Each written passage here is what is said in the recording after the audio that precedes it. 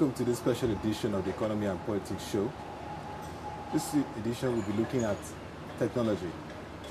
In the 21st century, this sector has proven to be enormous in terms of its potentials and capacity to transform economies. Interestingly, Africa is not left behind by the developments. Recently, Sub-Saharan Africa was rated the economy and region with the largest mobile telecommunications growth indices. And so today we meet to discuss the developments in the information communications technology sector as well as the mobile technology revolution is Mr. Shina Badaru, notable technology journalist in Nigeria and also Africa, CEO and founder of Technology Times. It's great to have you, sir. Thank you very much, Web TV, for having me on your show. Thank you very much, sir. Now, like I said, Sub-Saharan Africa recently was um, rated by Technology Times analysis and uh, report as the fastest growing telecommunications uh, sector in terms of region. This is very interesting. Enmeshed in this is the fact that Nigeria in quarter one of 2014 now has 127 million active users, making it the largest internet market in Africa and mobile market. What is this bringing to the dynamics of Nigeria and African economies? How is this changing the narrative? Okay, uh, first of all, uh, let me update you. Uh, the latest statistics now show that we've crossed the 130 million active phone lines. As million. yes, as at uh, middle of this year, that's as at June, the latest figures uh, released by the Nigerian Communications Commission. We've also done in excess of over 60 million uh, active um, internet users across the country. Uh, we've also done in excess of 93, 94% penetration of uh, mobile telephony or telephony uh, generally across Nigeria. And those statistics are very uh, landmark. They're quite uh, indicative of the fact that the telecom sector remains a huge, huge uh, sector uh, for the Nigerian economy and within the Nigerian economy. Uh, is, is, is changing a lot of dynamics in key areas of uh, innovation. You find that, that today the mobile telephony platform is a key driver of innovation. Various uh, entities, individual uh, organizations, businesses are now leveraging mobile telephony or the platform or the channels that it, offers to drive a whole lot of innovative products and services into the marketplace. Uh, beyond just driving innovation is also a huge driver of employment creation.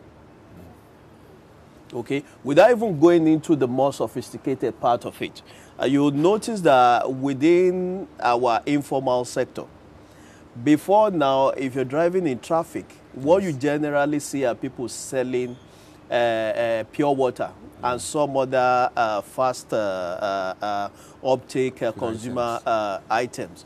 But today, most of those young men and women have migrated into the more lucrative sector of selling recharge cards and airtime. That's at its most basic level. If you look around your neighborhood uh, shops and all these places also, uh, what we didn't have before now was uh, what is generally referred to as the umbrella phone business. Yes. But you can see there is a huge thriving sector across uh, the nooks and crannies of Nigeria. You even have informal uh, mobile before the actual introduction of mobile uh, uh, payment. You have some informal rudimentary kind of uh, um, um, way in which people were doing transfers and remittances of, uh, of money. Okay, most of us in Lagos tend to more often than not cater for our older ones and uh, siblings back home in the rural areas. Before now, it had to be that you physically had to take those cash to them. Yes. But in a way, people have gotten so creative that they've developed rudimentary ways of transferring those money. How they do it? They send them recharge card to the equivalent of uh, uh, uh, how much or the amount they want to transfer, and the person or the other and takes it to some neighborhood uh, a, a, a person involved in phone business or interested in buying airtime and that is converted to cash, though rudimentary. But you can see that it's at its most basic level to the more sophisticated level of value-added services, uh, mobile payment, uh, mobile money transfer, mobile insurance services. Today, you can see that the insurance sector has become a huge, huge adopter of mobile telephony to do what? To provide insurance services where you rather have to pay a huge bulk of uh, policy uh, before now, it was made so convenient that they maybe take away 100 naira. So you hardly know it and it becomes a more convenient way of doing what? Of getting insured. So across all the sectors of the economy is driving innovation, is driving job creation, is driving a huge uh, number of other activities.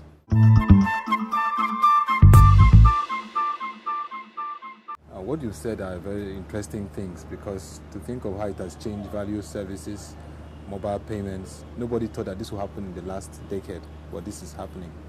Major concern now is the issue of infrastructure. You know, if you look at a country like Canada and Sweden, they have solid ICT broadband uh, infrastructure that helps to galvanize and uh, create the pedestal for all these operations to run seamlessly. And Nigeria graciously, the, the, this government has the ICT ministry and has been working on the broadband policy. Can you tell us where we are at the moment when it comes to building and implementing the necessary uh, impetus for broadband infrastructure? Okay, well, uh, first of all, let's commend the uh, current administration for the huge strides that they've made in the area of uh, creating the foundation for an initiative like that. When I mean foundation, uh, across board it's been identified that infrastructure still remain key for everybody across the ecosystem, both for service provider, network operators, and even infrastructure providers.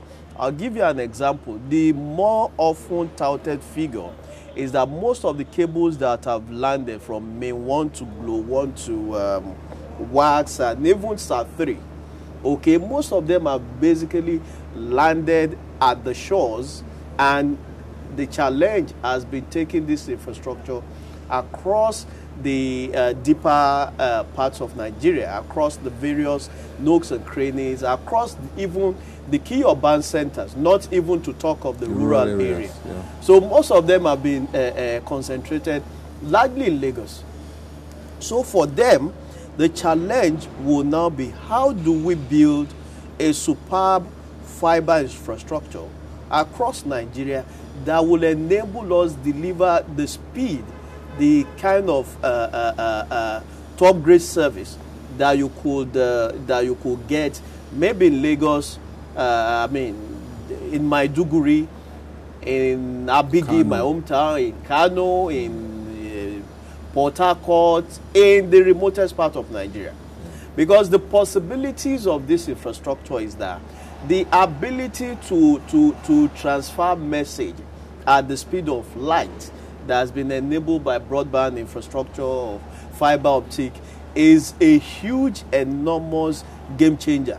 Hmm. So it means that whether that kid is seated anywhere in Lagos or Maiduguri or in the remotest part of uh, any part of Nigeria, the possibilities of having that superb fast internet connection also opens you up to a huge world of knowledge on the internet, a huge world of market opportunity and all of that. So the government has identified that, that look, is a key enabler of uh, and, and, a key driver of economic uh, stimulus. So uh, they've come up with a superb team under the, uh, the, the, leadership of the, uh, uh, the pioneer and current uh, Minister of Communication Technology, Dr. Uh, Omobola Johnson, we have come up with a fantastic roadmap plan. You know, but like every other thing, is also tied to some other enablers. Okay, uh, a, you, they've identified the need to bring forth so, some other things that will be complementary to that plan. Okay, there will be new uh, service providers coming into the space to focus on purely providing infrastructure. They call them infracos. And the NCC has already announced plan that before the end of the year is going to license those new companies across the six geopolitical zones in Nigeria. So hopefully it, it, it has already licensed a sole broadband uh, uh, uh, uh wholesaler who will be like a provider selling uh, broadband service at the retail and other sectors of the service provisioning ecosystem. So all of these things, the first role that the government has to play is to play that role that is done fairly very well over the years, creating the enabling environment, not necessarily providing the service, but creating that environment that would allow infra, uh, uh, infrastructure builders, investors, and new uh, prospect into that space to come in, and that's what they've done. I think that's where we stand today. Uh, the, the, the, the plan, you may not see a radical uh, uh, uh change in plan, knowing how government works, but there's already uh, steps being taken, there's progress being made. They're going to license new companies who will focus solely on providing infrastructure.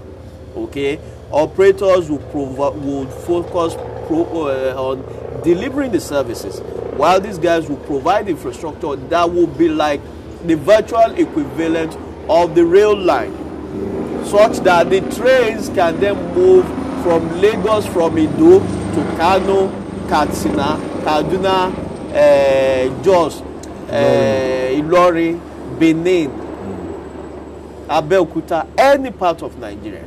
So building that rail line that will take the fiber that have landed along the shores of uh, Lagos. Lagos. is now the step uh, where we are.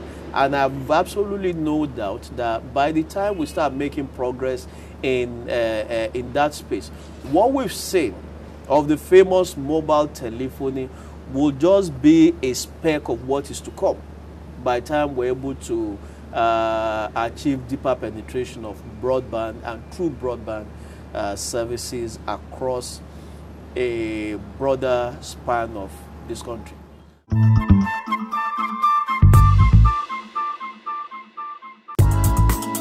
Five, six million.